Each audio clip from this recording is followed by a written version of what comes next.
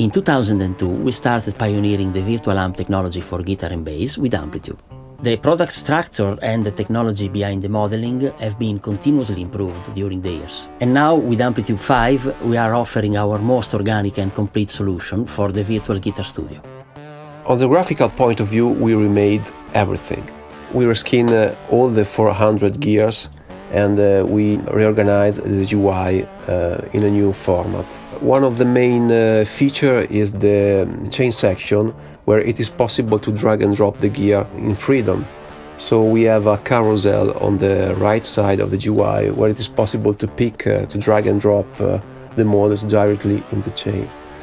Uh, the chain supports uh, four main modes. The first one is the single, a single path, a signal path. The second one is a parallel path, a double chain. And the third one, we introduced a new feature, which is the wet dry wet configuration. Uh, in this mode, it is possible to, to load up to 57 gear models, which is a huge number for a, for a preset, and uh, it gives you a lot of opportunities. One of the most important feature in Amplitube 5 is the new cabinet section. Here we introduced a new technology which is called VIR, which means uh, volumetric impulse response. With this technology, uh, we redid all the cabinets using an automation which allows us uh, to improve the resolution and the density of the impulse responses. As a result, the mic placement is now super smooth and offers a lifelike rendition of all possible positions, including the interaction between speakers and the interaction between the speaker and the floor. So for Amplitube 5 we wanted to put a special focus on the cabinet section because the cabinet section is the one where most of the magic happen. Not most of the magic, okay, a lot of the magic happened. And not the cabinet itself um, on its own, but the cabinet and the way you mic it, of course. You know that when you just move your microphone um, tiny, a tiny bit, the character of the sound is highly changing. So we wanted to, to give the user the same experience a sound engineer can find when he's in front of the cabinet, moving the microphone around, and, you can hear all this sound, very the subtleties of the sound changing.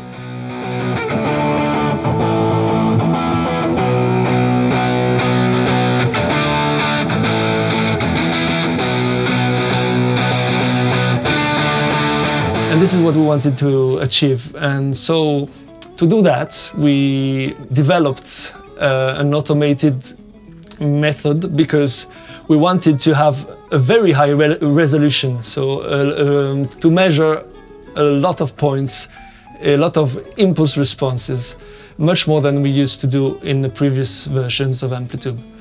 This, is, this seems to be a simple solution to, to achieve a higher resolution, but a very higher, a much higher resolution needs a lot of time and this is very difficult to, to apply actually in practice because... You're talking about resolution in terms of number of points in space, Yes, right? yes, right, right. Okay. But the density of the, the, the grid, let's say, that's the, that you measure in front of the cabinet. So the, all the positions where you put the microphone. Hmm. And so the denser it is, the more realistic it is, of course you have more points and it's closer to what happens in the real thing. So we did a lot of experiments and we, we found out that the number of impulse responses we wanted is pretty high actually. It is, it is a lot of, of measurements and so um, this would take a very long time for each cabinet and as you know in Amplitube we, I think we have above 100 cabinets. More than 100, yeah and we want to do that for many speakers on the same cabinet, the different because each speaker has its own sound character because of the interaction with the floor, with the neighboring speakers. And so this, this is, um, you, you can understand that the number of measurements becomes to be extremely high. And, it's, going be, to be, it's going to be crazy, yes. Yes, you, yes. If you do it manually. Yes, I think someone yeah. could die doing that. and uh, so uh, yes, add to that that we wanted to uh, to do the recording for with different microphones. The number explodes again. So what we want, what we did is we automated the, the recording. We used a um, automated solution which allows for the microphone to, to be moved on along two axes, like this one. Uh, one axis is uh, away or close to the speaker, and the other axis is uh, lateral motion. And so uh, we, we used this uh, this solution, but we highly extended it with Yeah. uh, uh, for our own needs. It has Bec- been greatly modified. Yes. actually. Yes. We have added a lot of special attachment to it so that we can easily mount the microphone we want to use, and we we so so the ease of uh, the switch of microphone is an important thing if you want to have a lot of recordings with different microphones. Mostly the importance of the of the attachment we did is that the all the microphone we use are aligned. The capsule of the of each microphone is in the same position each time we mount a new microphone. So you have an absolute time accuracy Yes, on all the recordings. yes, and a total consistency between between microphone. So this is how we automated the mechanical part of the project. And this allowed us to make recordings and measurements in, in a fraction of the time we would have needed if we had done this by hand, of course. And yes, the, the overall recording took like um, a few months instead of, I guess, many years or something like that, something very long. Uh, how many pulse responses do we have in total in Amplitube 5? I think the the total amounts to 140,000 Yeah. impulse impulse responses or something like that. For example, a, a 4 by 12 cab has something like 2,400 uh, measurements. So you can see that that's a lot. It's a lot. So with this method, we could take into account the cabinets and the microphone position, which is a very important part of the of the sound, of course. But that's not all, because even the the place where you are located when you are recording is very important to the sound too. And maybe Davide can tell us more about this. Yes. This room that you are looking at now is a room that has been especially uh, designed to uh, be a special place for guitar amplifiers. Uh, why? Because it's a, a room that has a variable acoustics, and so we were able to place each amplifier in the sweet spot uh, depending on the way the amplifier was sounding, the character the amplifier had, the type of cabinet, if, if it was a single speaker, and so it was maybe uh, it was needed to be raised a bit from the floor, or if it was a 4 by 12 like this one, that it's perfectly at uh, uh, at its natural position on the floor.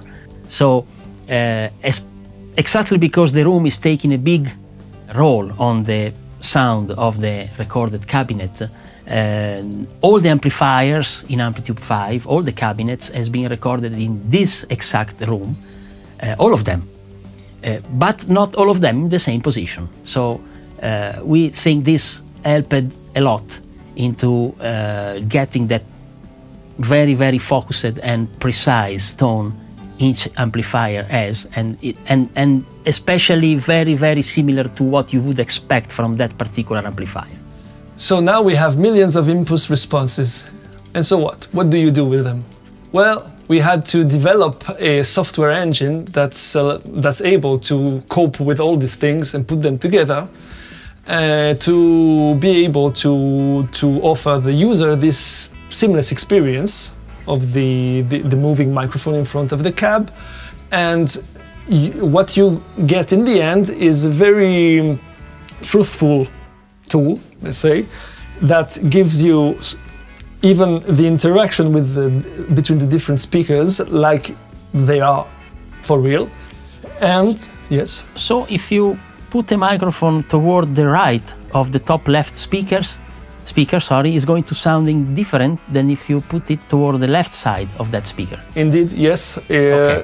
because the the inner side, let's say the the side of the speaker that's towards the other speaker has more influence from the nearby speaker, and so it will sound. Uh, uh, sometimes it sounds totally different because of the interaction between them, because uh, you have some phase cancellation, things like that. So they, yes, And this is going to be different depending on the microphone you use. Yes, because of the the, the microphone has uh, microphones have different polar pat- patterns, and uh, and also they have a um, different uh, proximity effect. Yeah.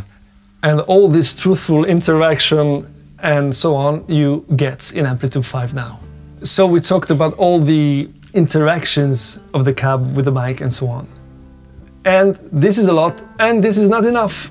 There is also the interaction with the amplifier, as Davide may tell you now. Yes, let's say that uh, if you take the cabinet alone, it's going to have its own sound.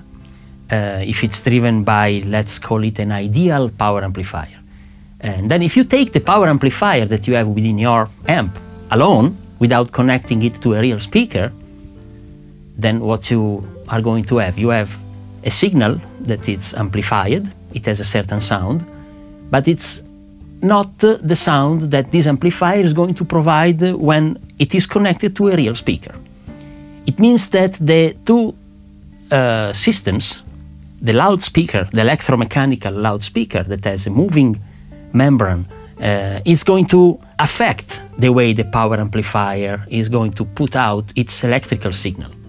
And one is influencing the other, and vice versa.